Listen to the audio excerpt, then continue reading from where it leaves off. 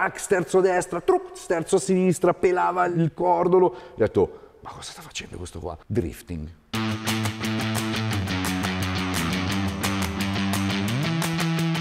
Tu devi entrarci il più forte che puoi, il più spettacolare che puoi, con la più padronanza che puoi. Tutto shakerato insieme fa una performance da 100 punti. Vado a Como, a Valle d'Intelvi a vivere per un anno e mezzo a imparare le strade, poi a furia di provare le strade mi hanno levato la patente.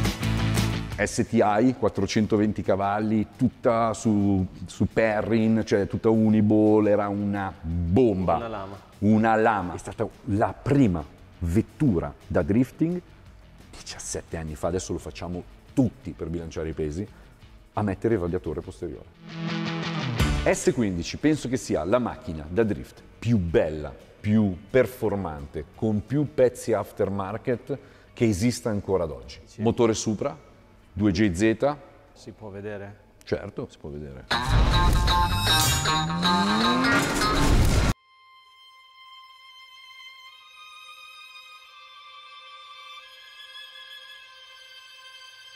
Controllare un qualcosa che sembra incontrollabile. Governare la dinamica di un veicolo aggiungendo al contempo precisione e spettacolarità per amore del pubblico e della passione per l'automobilismo.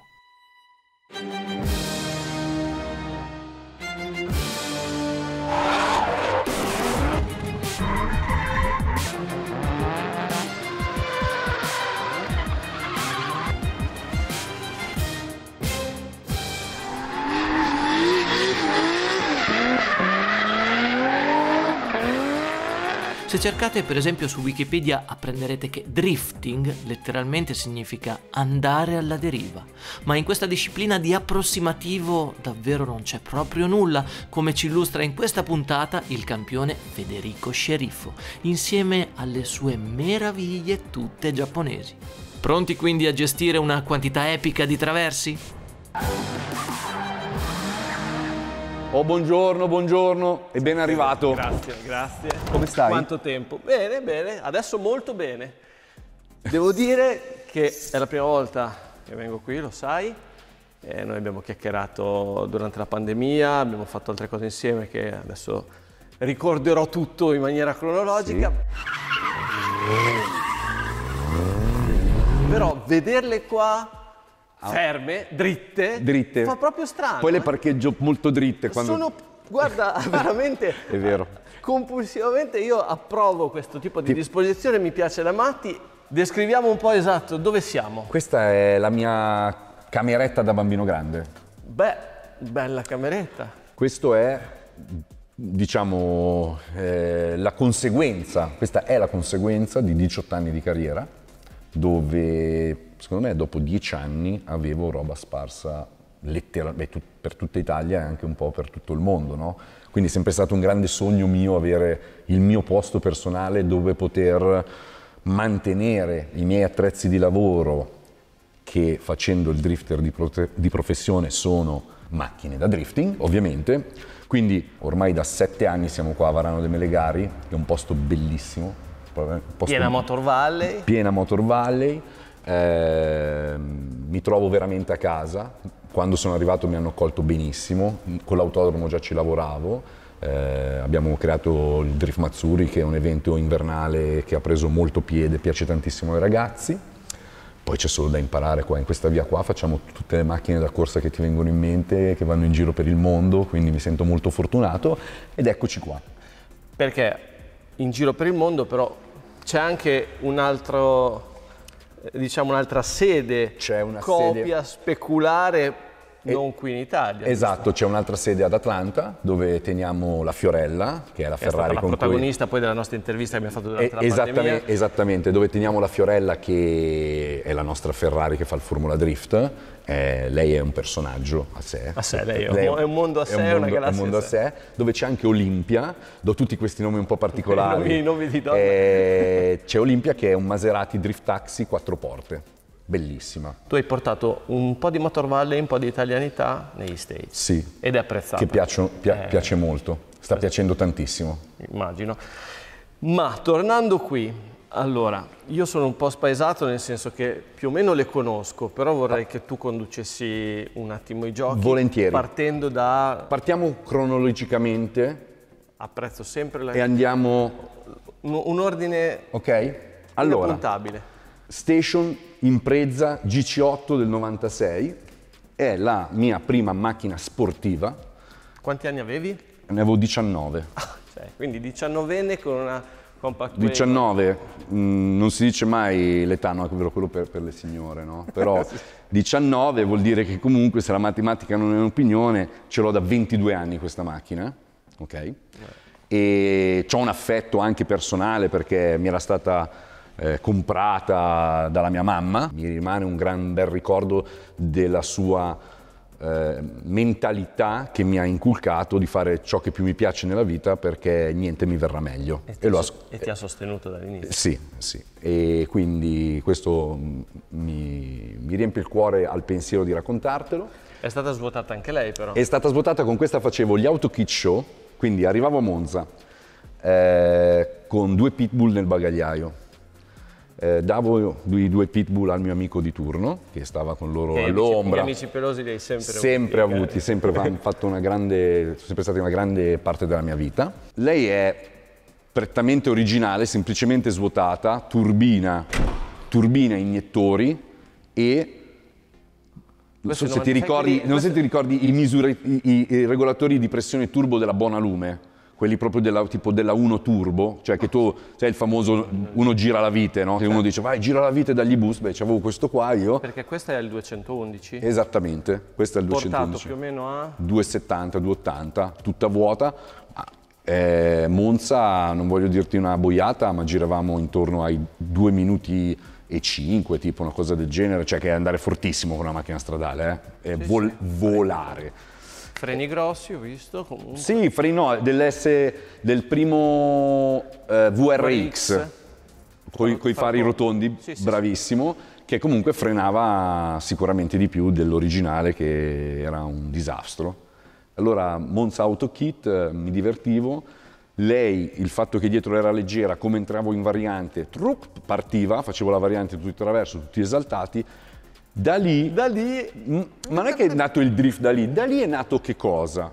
Il mio drive. Qual è il mio, il mio drive per quello che faccio? È vedere la faccia della gente quando esco dall'autodromo, esterefatta, gasata, esaltata. Questo a me mi ha illuminato, anche perché nasco sognando di diventare un rallista. Ah, quindi Subaru integrale. Io nasco sognando di diventare un rallista, vado a Como, a Valle d'Intelvi a vivere per un anno e mezzo a imparare le strade, poi a furia di provare le strade mi hanno levato la patente. Per- Ah, per- hai capito? Hai voglia, hai voglia, hai voglia, ce ne ho, diverse da raccontarti, A ma furia di imparare le strade c'è un mondo dentro questa frase, vero? Di giorno, di notte, bravo. cittadini Avevo, tranquilli ro- che, esatto, che si sono un attimo sì, agitati. ave- avevo rotto le balle a un certo punto, no? Da lì sono passati sei mesi Ed è successo qualcosa però. ed è successo qualcosa. Hai deciso... YouTube. YouTube, insieme a un altro mio amico, vedo questa Lexus che la guidava poi un pilota contro cui ho corso per anni, dopo, quando sono arrivato in Giappone, Taniguchi guidava questa Lexus tutta inderapata, mi viene la pelle d'oca mentre te, te lo racconto. È vero. Cioè, eh, mi- mi ha esterefatto, perché la guidava tutta inspazzolata perfetto, con Millimetri. millimetrico, tac, sterzo a destra, truc, sterzo a sinistra, pelava il, il- il cordolo. Ho detto, ma cosa sta facendo questo qua? Drifting.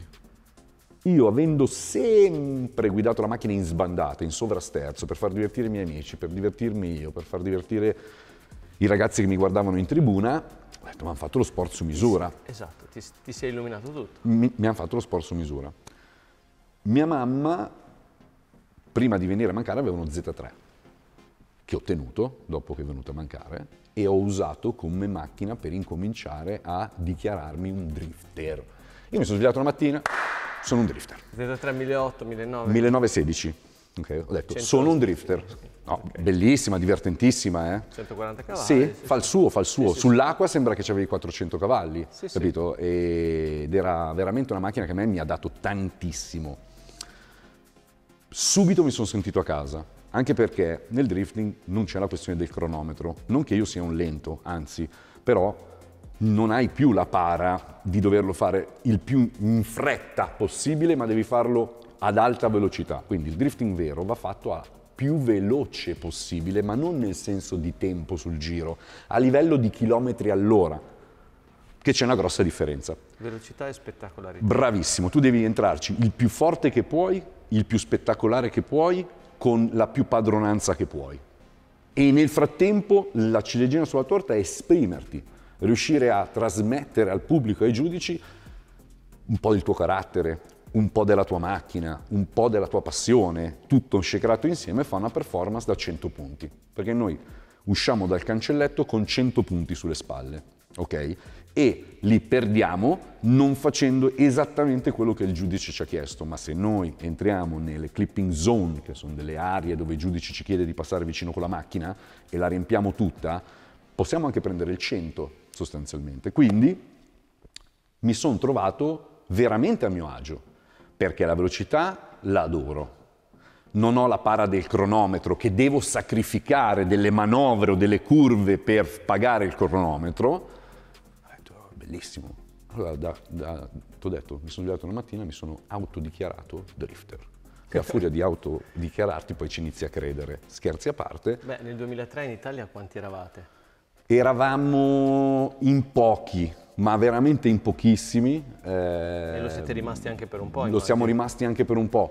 Purtroppo anche ad oggi sono in pochi che competono, ma in tanti che lo praticano, grazie a Dio. Ce li ho mh, praticamente quasi tutti al Mazzuri. Al Mazzuri faccio 80 macchine a numero chiuso. E lo, e lo, faccio una volta al mese per quattro mesi di seguito. Quindi la voglia di driftare in Italia è tantissima, ma il come viene vissuta la competizione, il come viene vissuta la promozione di questo sport, secondo me non è corretta e non sta portando i suoi frutti. Perché poi non è che costi poco se lo vuoi praticare. Ma no, assolutamente. Livelli. Anche perché qua mi ricordo che c'è una certa macchina che ti ha imposto un investimento importante. Madonna benedetta, sì eh. sì, andiamo, andiamo, andiamo che ti racconto. Quindi siamo passati dalla, dalla mia prima Subaru, che poi un, il subarista è una razza, eh? cioè tu sei un subarista per sempre, secondo me, non c'è niente da fare. Quindi, prima di parlarti di lei, inizia il sogno, ci credo, eh, 2004, ci credo ancora di più, inizia, inizia, a prendere piede, nonostante io pensavo che aveva già preso il piede di oggi no? nella mia testa, uno ha delle realtà un po' eh, non, non proprio corrette, ho detto ok, qua il drifting è lo sport del futuro, ci credo, ho mh, fatto un investimento molto importante nella mia vita, lei è la mia giallina. La giallina l'ho incontrata a un auto kit show dove il sabato la guidava Loris Reggiani, che era la prima gara di drifting che veniva organizzata in Italia dove noi abbiamo partecipato come ospiti a questa prima di gara di drifting in Italia dove c'era lei 4x4 che veniva guidata da Loris Reggiani che la domenica non poteva guidare. Cosa succede? Che mi vedono con la mia Subaru grigia, questa senza pilota, il proprietario di questa macchina che era Ugo Shan di Auto 4 mi dice in, nella sua accento tedesca, eh, molto, tedesca barra veneta, no? e non riesco neanche a imitarlo, no? però mi fa, insomma, mi fa, te la senti di guidare te? Mi faccio, cosa? Mi fa, la gialla, lui la chiamava la gialla, non ha fatto tempo a dire, cioè letteralmente, io ero letteralmente, io ho fatto di, no ma ti volevo spiegare la macchina, quello mi devi spiegare è lei con gli steroidi, STI 420 cavalli, tutta su, su Perrin, cioè tutta Uniball, era una bomba. Una lama. Una lama 4x4. Parte la gara anche qua, guarda quante pelle d'occa mi fate venire oggi. Parte la gara, domenica, e, e allora il, il, microfono, dicono il mio nome, io sono cresciuto a Garbagnate Milanese, a 20 minuti da Monza, ok? Sono nato a Milano, centro, ma sono cresciuto a Garbagnate Milanese, che è a 20 minuti da Monza, quindi avevo invitato... Il mondo. Sì, Garbagnate, Cesate, Saronno, Bollate, capito? Tutti erano lì, no? Okay. E, mh, siamo dei paesi dove siamo abbastanza tamarri, capito, dentro, quindi c'era anche un...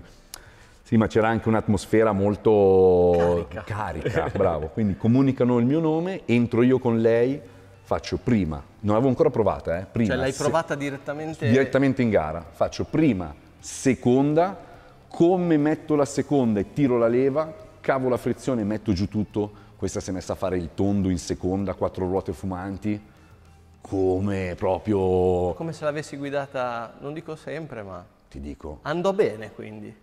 Beh, ho sentito da dentro, con la macchina che andava all'imitatore, ho sentito il boato del pubblico da fuori, ok? Eh, andiamo in finale, andiamo in finale e eh, c'è stato un- una stand innovation generale.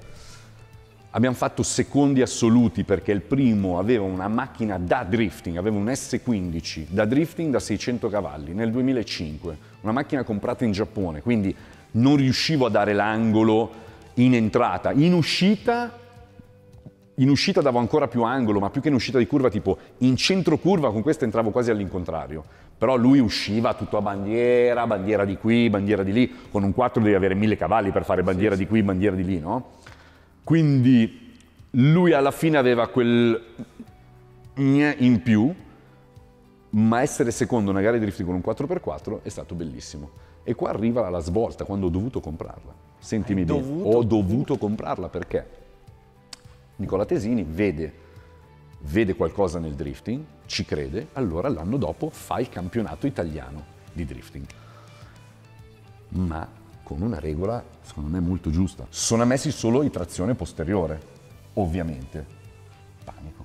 Perché? Io per la prima volta nella mia vita avevo realizzato un piccolo sogno di essere un pilotino per qualcuno, capito? Quindi Ugo Scian era tutto gasato, l'auto 4 era gasata, che io guidavo questa macchina davo spettacolo. Mi arriva la telefonata di Ugo e mi dice guarda, eh, ci vogliono solo posteriori, io smantello la macchina, la vendo a pezzi, eh, tutti i componenti, diciamo quelli tuning, passami il termine, quelli di, di- di performance, li vendo ad altri ragazzi che fanno performance, questa la rimetto originale e eh, la metto in vendita stradale, no? Ho detto, mi è cascato il mondo addosso, no? Tieniti forte, metto giù il telefono ed era, io ero in vacanza, proprio letteralmente tipo prestissimo la mattina, 4-5 del mattino, faccio, c'è illuminazione, la facciamo posteriore. Eh beh, certo. 7 del È mattino. pronta. È pro- cioè, 7 del mattino lo chiamo e faccio, la facciamo posteriore. Ma proprio, non ti dico cosa mi ha detto, no? Mi ha messo giù il telefono in faccia, mi richiama alle 9 e mi fa, come fai a farla posteriore, no? In Giappone stavano facendo lei, nel 2005 posteriore. Quindi avevano fatto un transfer, lo chiamano, che tu metti nel cambio, elimini il centrale e dà tutta la trazione a- al dietro.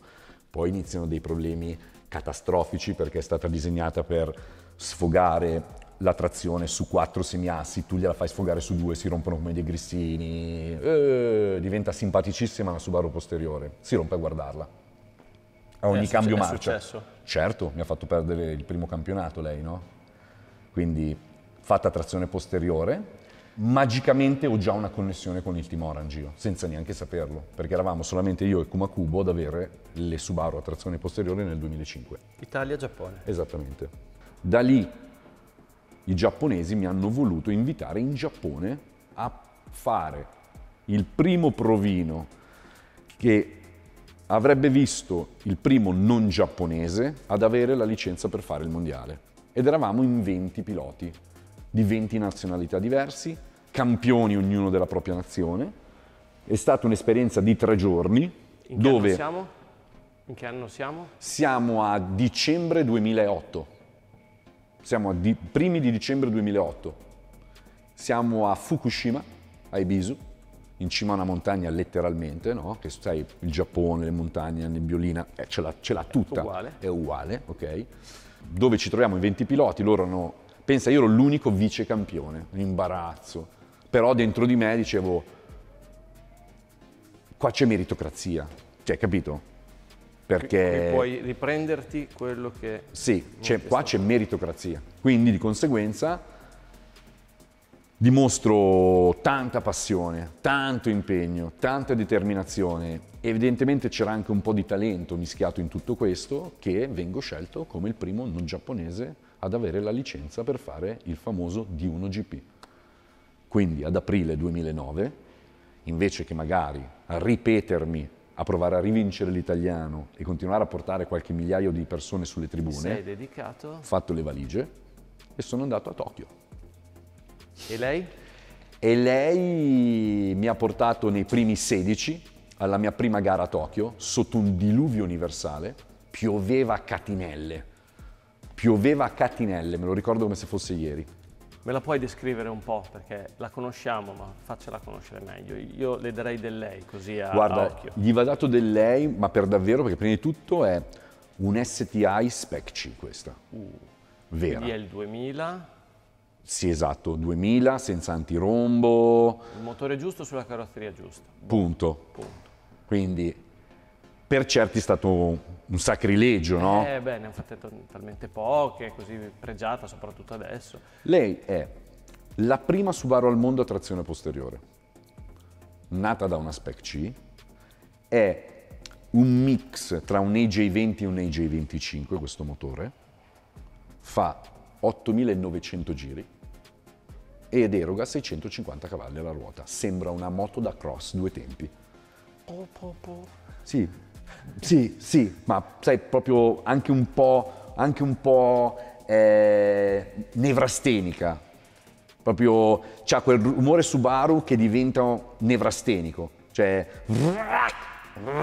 così fa, ma veramente, c'ha lo stick stack che non gli sta dietro, c'è la lancetta dei giri che fa così. È impressionante questa macchina, è emozionante, è selvaggia. E come è riuscita ad arrivare in questo tuo garage? 2009 faccio delle belle performance, ma ovviamente, sai, mi sono buttato in una, in una gabbia di leoni, no? 2010 miglioro un po' le mie performance e i leoni comunque continuano a crescere intorno a me, quindi non è mai stata vita facile, no? 2011 eh, inizio a impegnarmi anche di più proprio nei dettagli, nei dettagli dall'alimentazione, da tante cose, eh, dal- anche l'allenarmi, trovare come fai ad allenarti spesso con la tua macchina per fare il mondiale. Costa una follia, quindi devi crearti, noi le chiamiamo delle missile car, macchine missile che, no, che le usiamo per eh, allenamento. Sono riuscito ad avere una macchina per allenarmi, secondo me la mia tecnica è cresciuta.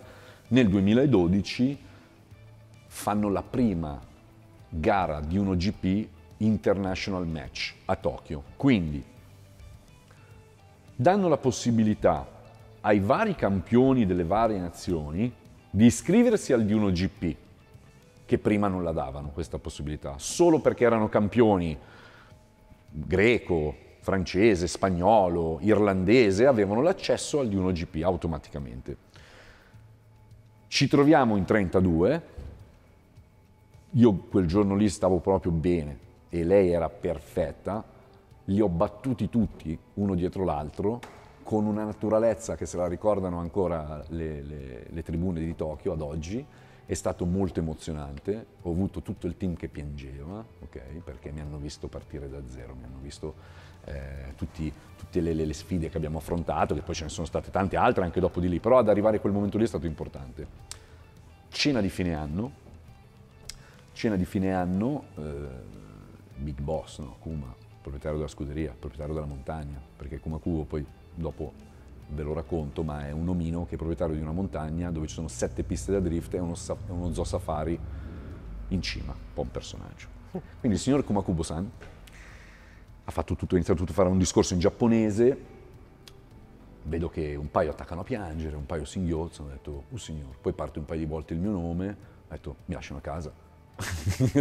Dentro di me ho detto, "Mi- staranno per fare un discorso che mi lasciano a casa, no? No, non è vero, non era niente di tutto ciò, anzi. A un certo punto parte, inizia a parlarmi in inglese mi fa, abbiamo un attimo ragionato e sappiamo che sei uno un po' particolare, sei un personaggio un po' strano, però il tuo amore per le tue Subaru è un amore forte, addirittura più forte del nostro, papapim, pam pam pam pam pam pim. IMP lo chiamano in giapponese l'impresa, IMP. Se tu vuoi parlare con un giapponese dell'impresa lo chiami IMP, no? E allora il, Kuma con il suo inglese giapponesato da, da maestro Miyagi mi guarda e mi fa Take the imp with you. Prendi la imp e portatela con te, no?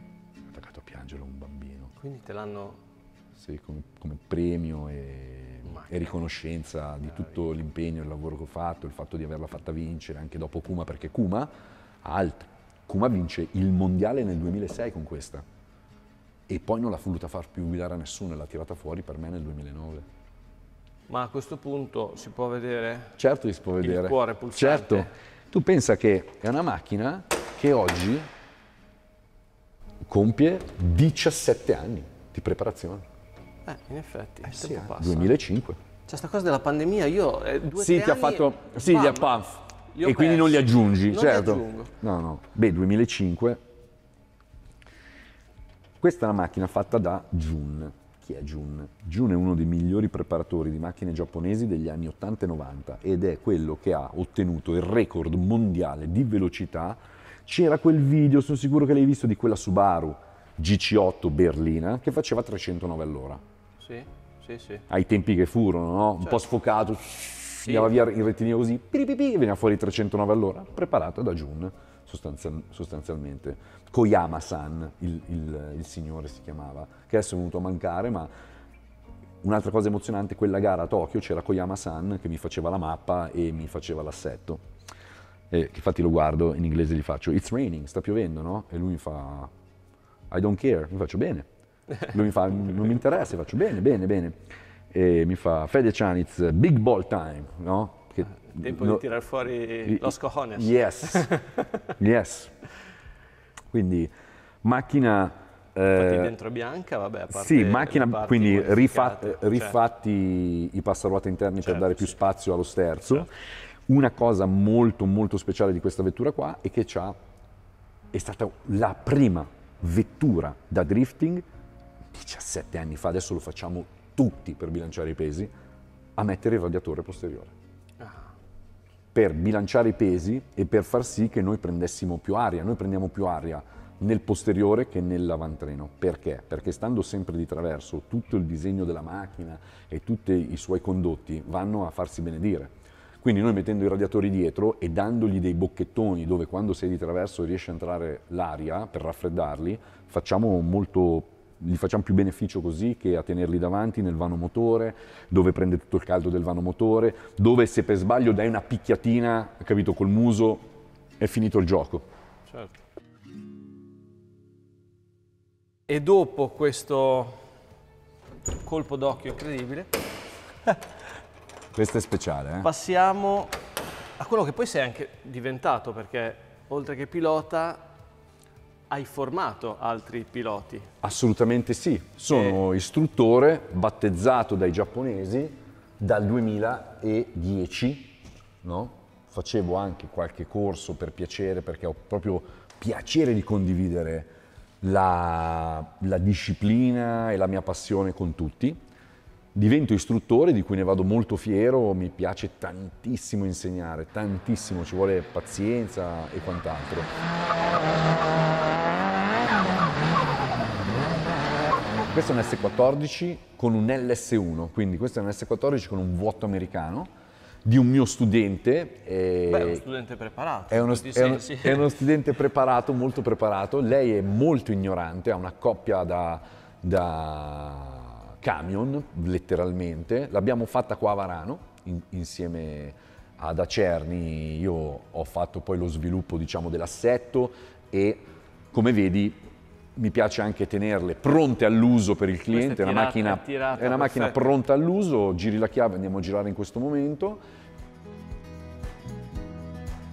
Dimezzando il numero dei cilindri o quasi, Beh, questo è un 6, Questo sì, un quello è un sei, 4. questo è un quattro. Questo è un 6, R33 GTS, ehm, 420 cavalli alla ruota, è la gemella di questa, che sono le macchine di Kuma Kubo di Suenaga quando siamo andati a fare il motor show di Bologna, perché ti raccontavo, certo, mi hanno... c'è 2014. Esatto, mi hanno eh, dato in affidamento a vita la mia Subaru arancione Quando abbiamo spedito qua la, Subaru arancione abbiamo spedito anche qua queste due che ci siamo esibiti per eh, circa 4 anni o 5 anni di seguito al Motor Show di Bologna, che a loro piaceva da morire perché ovviamente venivano in Italia, si esibivano quindi Area per, per 48, lavoro. eh, Valley, Bravo, oh, da- bene, davano di testa, i giapponesi guarda ne parlavano poi fino all'anno dopo che ritornavamo sostanzialmente. Lei ha viaggiato tanto. Le- loro due hanno viaggiato tantissimo, loro partono dal Giappone,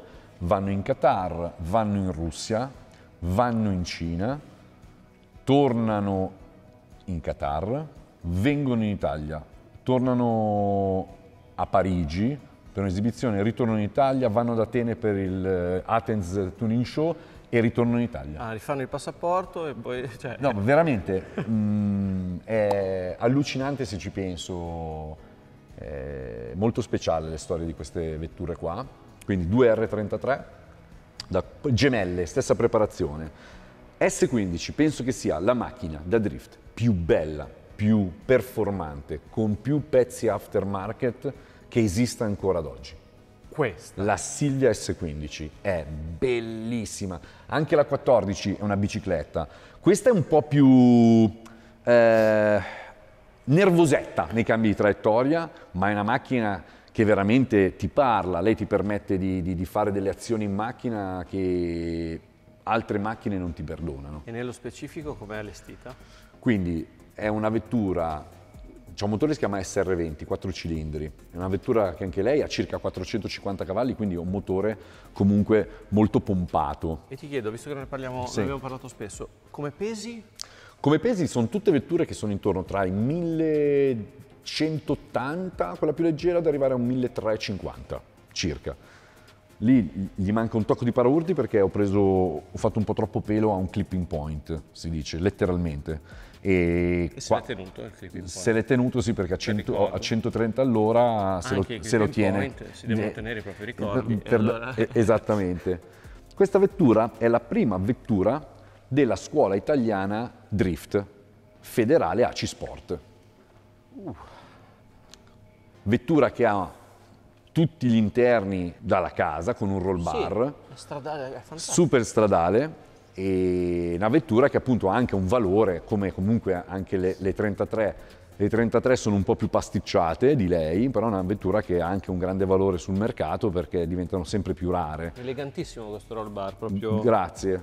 molto Sì. sagomato. Sì, sì, perfetto con la gomma, diciamo vettura molto speciale.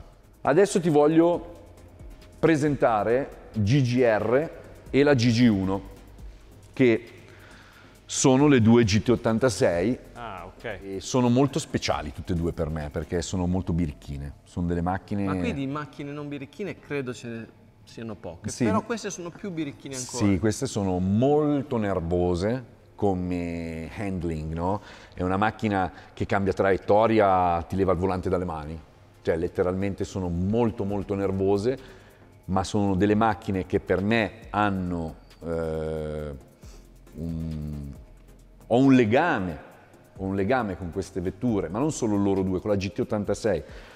Appena era uscita la GT86, Ti sei detto, Inverno, ti due- sei detto qualcosa, cioè io da appassionato quando è uscita la GT86, adesso che la GT86 Sì. ho detto Toyota ha Ah. colto, hai voglia, hai voglia. ha fatto centro. Dici un attimo anche perché, sono legato con la GT86, abbiamo sviluppato le GT86 a Hokkaido, inverno 2013, sulla neve, insieme a Toyota e al Team Orange, quindi ho un legame con questa vettura, questo telaio molto particolare. no? Lei è esuberante. Lei è stata fatta nel 2017, finita nel 2018, poi siamo partiti per l'America, quindi la sua prima gara l'ha fatta nel 2019 al FIA Motorsport Games di Vallelunga.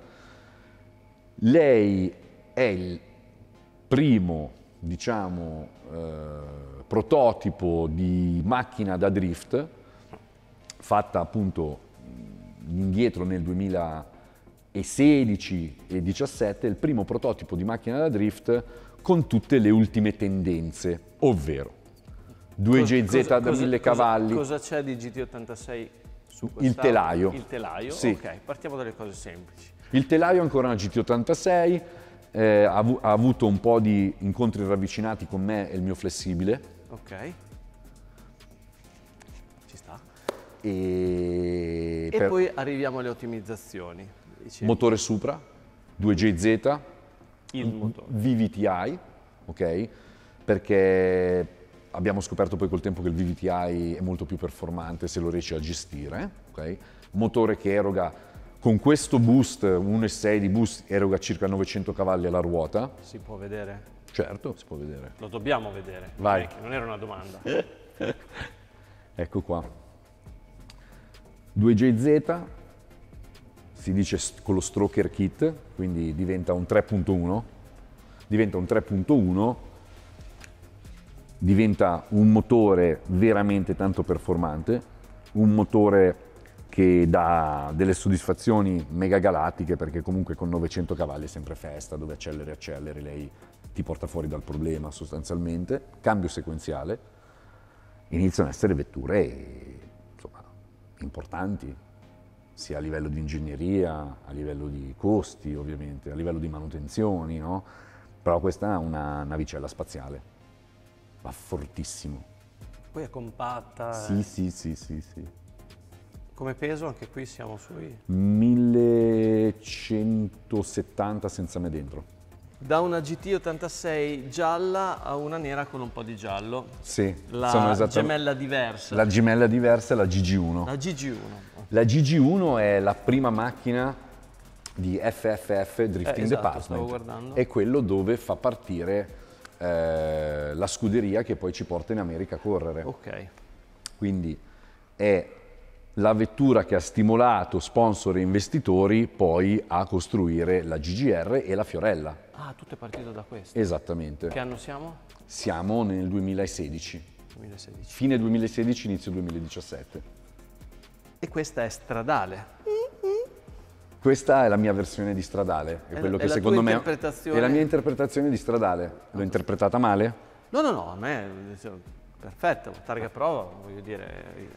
Targa prova per prototipi eh, che mi permette ovviamente di fare i miei collaudi e di usare le vetture quando facciamo una modifica o dobbiamo fare uno spostamento. Lei è molto speciale, lei è una GT86, è la prima in Italia ad avere il Rocket Bunny. È la prima GT86 in Italia a montare il Rocket Bunny e anche la prima GT86 in Italia a essere turbo. È una vettura che sono andato a prendermi a Londra, Guida destra. guida destra, l'ho guidata da Londra a Milano, divertentissimo. Già da stock. Sì, sì, sì, assolutamente, macchina divertentissima. Insieme a- ad Acme abbiamo poi scompresso il motore, fatto turbo. Poche vetture così divertenti, pochissime vetture così divertenti.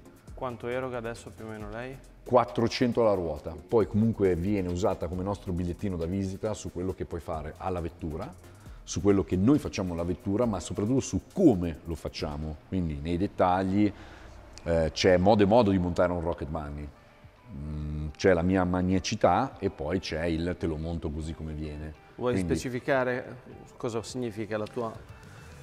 la mia maniacità è, diciamo, se poi vedrai che se fai un giro intorno a questa vettura ha tutti i profili attaccati perfetti, sono tutti simmetrici, i gommini sono al proprio posto, è una vettura che io ci salto, vado sullo sterrato, vado sulla neve, vado su- sul ghiaccio, eh, ovviamente asfalto vivo, è una vettura che ha visto non quattro stagioni, dieci ne ha viste. E lei è immacolata, certo c'ha il wrapping di allora, questo wrapping qua ha quasi sette anni per farti capire e ne ha viste di ogni questa vettura, sono molto molto legato a lei. Ed è una macchina che mediaticamente la GT86 piace. Sì, beh, ha fatto, secondo me solo lei ha fatto circa 12 milioni di views su YouTube. Ne ha fatti due e mezzo, tre con me su due o tre video e poi hanno ripreso i loro video, li hanno sparsi un po' in giro. C'è un video di lei che si arrampica su per la neve, c'è un video adesso di lei che si arrampica su per una, per una strada di montagna che piace da morire. Poi sai, nera, faro giallo sembra un po', un, un po indemoniata, no? Beh, Pensoil poi è, Sì. è- è molto famosa per Sì. video soprattutto notturni. con- Esatto, esatto, esatto, No. esatto. Che abbiamo appunto come nostro sponsor in America. È, è molto prestigioso avere un'azienda così Sì, sì, che, sì, è un bel supporto. supporta. Sì. E visto che abbiamo esplorato una evoluzione sia diciamo cronologica ma anche tecnologica, Sì. com'è cambiato il tuo lavoro? Com'è cambiato il drift? Com'è cambiato fare spettacolo con questa disciplina, con questo sport? Dal- Ad esempio dalla Subaru Orange. Certo, Ah, beh, prima di tutto è cambiato che 15 anni fa, quando avevi 400-500 cavalli, era una vettura importante. Era una vettura importante che faceva delle evoluzioni già ai tempi importanti. Oggi la stessa vettura da 450 cavalli di 15 anni fa fa sempre le stesse evoluzioni che faceva 15 anni fa, ma ormai è molto più all'ordine del giorno. E cosa succede anche? Che la tecnologia si è avanzata, le vetture ovviamente iniziano a fare dei remake come questa GT86 che è il remake della AE86 a trazione posteriore e di conseguenza noi ci troviamo con una macchina moderna a trazione posteriore che non ne venivano fuori da un- dal 96. Dagli anni, da fine degli anni 90, se ci pensi, i giapponesi non hanno più fatto macchine a trazione posteriore. Tra l'altro la AE86 l'hanno rifatta proprio loro di recente. È Esatto. un concept, è una sola, però ha detto non la venderemo, vi abbiamo fatto venire un po' di... mm, però no. Capito? Capito. Sono, so- sono Come- fastidiosi. Come tanto. cambia? Cambia che è anche vero che oggi devi per forza diventare invasivo con l'engine management, con la centralina. Quindi cosa cambia una macchina moderna da una dei tempi? Una dei tempi con un modulino aggiuntivo gli parlavi, diciamo, alla vettura, no? Oggi sono talmente tanto sofisticate che devi per forza cambiargli tutto l'impianto elettrico per parlargli. E a livello di evoluzioni anche, non è più una questione di angolo, è proprio una questione di imbardare in maniera più... Adesso guardiamo il pelo nell'uovo nella mia disciplina. Cioè se prima era emozionante chi la teneva in sbandata e chi ne la teneva di traverso, adesso è emozionante chi per forza struscia il muro, fa il, fa il pelo millimetrico, eh, la guida con tutto lo sterzo aperto, insomma, in più qualcosa... La vera, la vera differenza è che ai tempi ci facevamo noi i pezzi in casa. Cioè, facevamo letteralmente noi l'avantreno con il nostro fabbrica- fabbricatore che azzeccava o sbagliava il lavoro. Oggi tu apri internet e c'è l'avantreno da drifting per la GT86 già pronto, il retrotreno da drifting per la GT86 già pronto. Questo è quello che è cambiato. E per la Fiorella invece cosa c'è? Niente, c'è fede. C'è fede. Fede. Dici, descrivici un attimo la Fiorella, tanto Sì. eh, abbiamo tante immagini di lei e Sì. quindi La Fiorella è una creatura, la Fiorella è una creatura veramente molto speciale. Eh, la Fiorella è una Ferrari 599 Sì. GTB, Fiorano, Fiorano, da qui. Sì, che eh, nasce doppio volumetrico.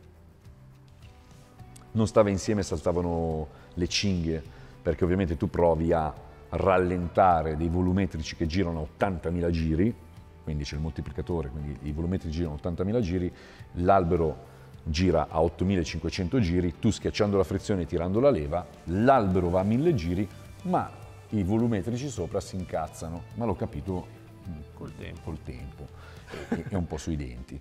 Allora cosa succede? Che allora eravamo in America e dico, va bene, via i volumetrici, 12 iniettori di protossido ho messo alla Fiorella.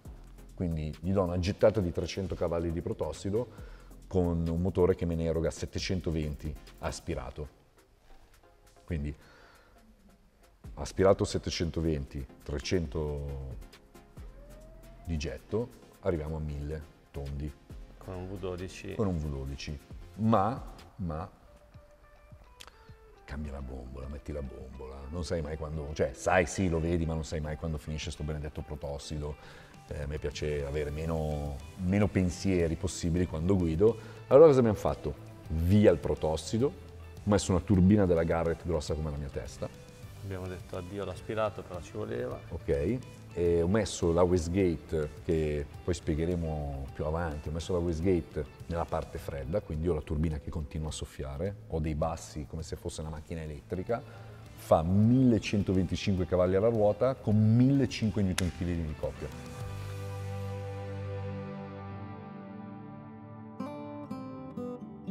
E come spesso accade, quando l'appetito diventa incontenibile, un assaggio bisogna concederselo. E dopo una carrellata del genere, il mio appetito eh, era incontenibile. Quindi quando Federico mi ha offerto una breve gita panoramica sulla GG1, in pratica ero già con le cinture allacciate prima che lui me lo chiedesse. In questo garage di targato e street legal c'è poco, ma per eh, questa dedizione, tenacia, passione per il drifting, una targa, anzi molto più di una, Federico se l'è già meritata in Italia e soprattutto all'estero, dove in certi contesti poter sventolare il tricolore italiano è una soddisfazione ancora più grande e lui ci è riuscito e ci sta riuscendo. E dopo questa iniezione di potenza nipponica siete pronti a immergervi nello stile nostrano più puro? Bene, allora non perdetevi il prossimo formidabile nel Garage D.